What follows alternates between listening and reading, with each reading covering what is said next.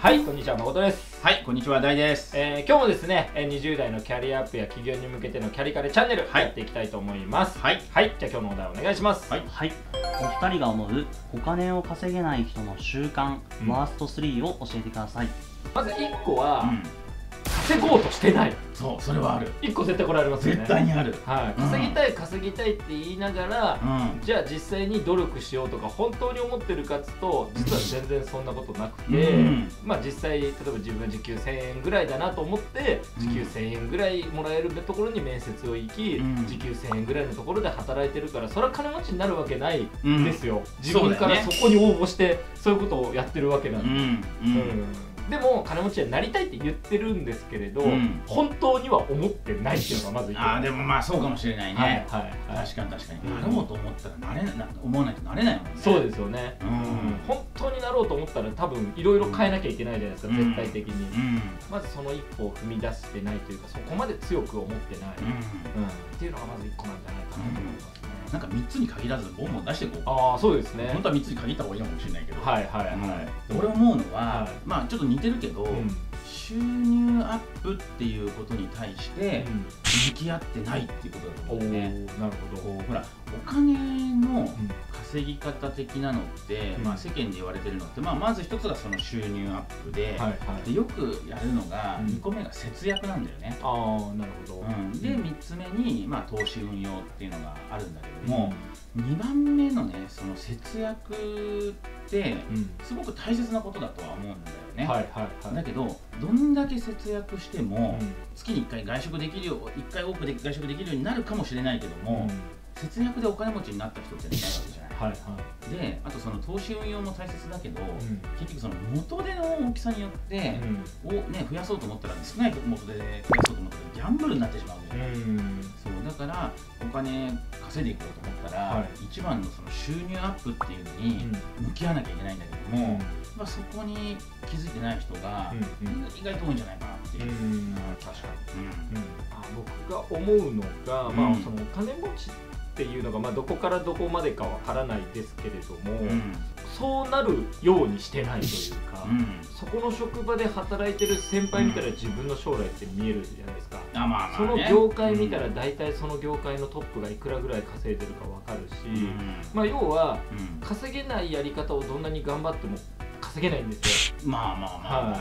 うん。でやっぱり1000万稼ごうと思ったら1000万稼いでる人たちがやってることやんなきゃいけないし、うん。年収1億稼ぎたいんだったら年収1億稼いでる人たちがどんなようなことをやってるか考えなきゃいけないし、うん。10億稼いでる人は10億稼いでるのフェーズがあると思うんですけれどやっぱそれって全然違うと思うんですよね、うん。年収500万の人がやってることと年収1億やってる人のことってまあ根本的にルールが違ったりするじゃないうんですか、そう。なのでやっぱそこを、分かってないと、うん。お金稼ぎたいから資格取ろうとか、うん。確かに、うんでじゃあ資格取るためにね、1年間かけてなんか1日3時間4時間勉強して、うん。でそれですごい努力はみんなしてるんですけれど、うん。じゃあその資格取ったところでじゃあそれ持ってる人がうん。自分の収入よりプラスいくら稼いでるのかっていうことをちゃんと分かってないと、うん。努力した割にリターン低いことをやってる人って実は結構多いと思うんですよね。うん。なんでちゃんとまずその、うん。僕はよくどの山を登るかっていう話をするんですけれども、うん。自分の登る山っていうのをまず選定しないと、うん。まあ努力はしてるんだけれども、うん。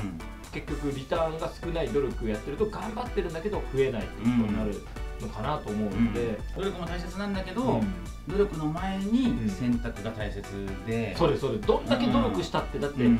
収入増えない仕事って実は結構あったりするじゃないですか、まあ、そういうルールになってるそうそうそう、ねレバレッジがかかんないというか、うん。うん。うん一日はやっぱ24時間。でしかないわけなので、うん。1年も365日じゃないですか。うん。うん。ってことを考えると1時間あたりいくらの仕事やってたんでは、もう大体弾き出せる計算式ってもう決まっちゃってるわけで、じゃあそこから休みの日とかあれを考えたら大体これぐらい収入ってなるっていうのを一歩引いてじゃあこのままじゃダメだとかっていうそこの概念と、うやっぱり稼ぐ金額にもよると思うんですけどやっぱなんだかんだレバレッジ効くことをやっていかなきゃいけないのでまあそうやって考えるとやっぱりどうしても雇われてたんでは、ぱ限界値来るし、うん。個人事業でやってたんでは、うん。やっぱこう限界が来る、どうしても雇われてたり個人事業で働いて自分が動かないと稼げないモデルでやってると、まあ、どこまで行ってもお金を取るか時間を取るかを選び続けなきゃいけないですし、うん。あとお金を取るにしたって結局自分の稼働できる限界値がもう収入の限界値になってしまうわけなんで。うん。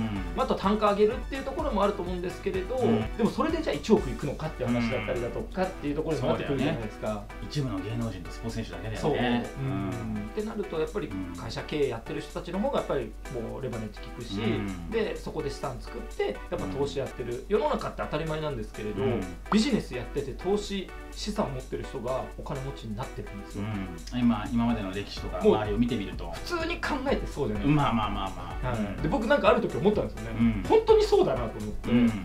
お金持ちになりたいんやったらやっぱりビジネスと投資うん。をやっぱりやんなきゃならないとね。はい。うん。そこを学んでやんないとでできないと思って、うん。うんで嫁さんになんか車乗ってた時になんか僕はふと思って嫁さんに言ったんですよ、うん。やっぱでもお金持ちになろうと思ったらやっぱビジネスとうん。投資やんないとん。なれないわけで、うん。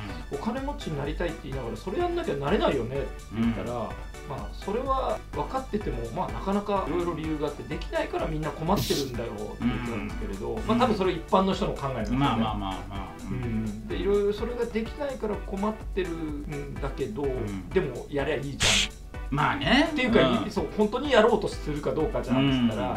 まあなんか俺らしいねって言われて、まあね。まあまあまあそうなんだよね。そうなんだよね。はい。うん。確かに確かに。うん、でももう、うん。極論それじゃないですか、まあね。はい。そうだね。うん。みんなほら今の生活っていうものがあるからはなかなかこう思い切った決断ってできない人がやっぱりどうしても多いのかなと思うけどねあとあれですよね、うん。よく言うのが、うん。自分の周りよく一接してる人のうん。7人の平均年収を足した年収が自分の平均年収、ああ普段接してる人のね。はいはいはい、うんってよく言ったりするじゃないですか、やっぱりそれそこも結構あるのかなと思って、はいはいはいであとは結構僕思うのが、うん。お金持ちになりたいと思いながら例えばうん本当にお金持ちな人がいたらうん。聞けばいいのにうん。結構聞かないんですよ。うん。わかります？わかる。あの人は特別だそうそうなとかそうそうなんですよ、うん。うん。本当にね、うん。例えばすごい立派なお金持ちな人の家が近所にあったら、はいはい。本当に知りたかったらピンポン押して、すいません近所に住んでるんですけど、うん。ちょっとだけでいいんでどうやったらそんな風になるんですかって聞けば絶対ヒントあるんですよ、うんうん。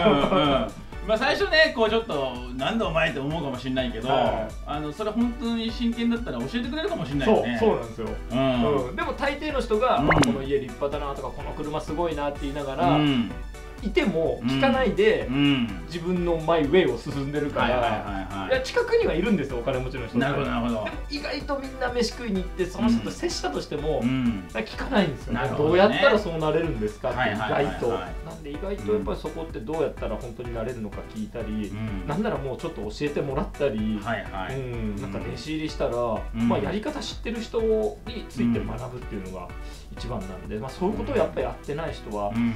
収入増えてないのかなって気がしますよね。うん。なんかそういうのって、うん。いわゆるその欠乏マインドと豊かさマインドっていう言葉聞いたことある、うんあるなんかないようなまあほら欠乏マインドっていうのは、はい要はもう誰かが成功したら自分は成功できないああうんうん、だからどうせお金持ちの人は教えてくれっこない、うんうんうん、だけど豊かさマインドっていうのは、もうみんなが成功するだけのもはの,、ものとか、うんマーケットとかっていうのは実は十分あるんだっていう考えで、やっぱりうまくいってる人って、はい。その豊かさマインドの人がすごく多いと思っていて、あの人が成功したんだったら私も成功できる、うん。で俺も成功できたんだからじゃああいつにも教えてやろう、はい。うん、やっぱ豊かさマインド持ってる人ってこう何かこう変に隠したりとか、囲ったりとかあんまりしないし、はいやっぱ成功してる人ってそういう考えの人意外と多いから、うんまあ、聞かれたら結構答えてくれる人多いと思うんだよね。そうですよね確かに。うん。うんそうだからまあまずなりたいと思うからね自分がね。うん。確かに。でもともとのお題なんでしたっけ？そうならない人の習慣3つ。うん。その3つでしたよね。三つだったな。何が三つかちょっとねもう一回ねあのはい。整理してほしいけども、はい、うん。ちょっともう一回見直してみてください。ということでじゃあそのところですかね。はい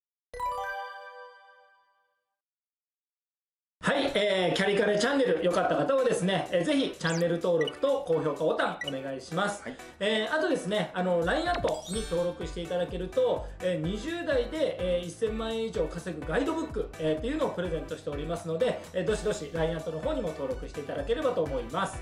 で、えーと、会社でね働く仲間も、えー、僕たち募集しておりますので、うん、まあ、これからね、えー、何かこうやっていきたいっていうので、まあ、働きながらですね、えーまあ、キャリアアップをしていくだったりだとか、うん、まあ、企業経営勉勉強したい将来いつかね、自分で何かやるために、いろいろ学びたいっていう人はですね、ぜひぜひ LINE アットの方からメッセージいただければですね、会社の見学等も、しておりますので、どしどしそちらの方もご応募いただければと思います。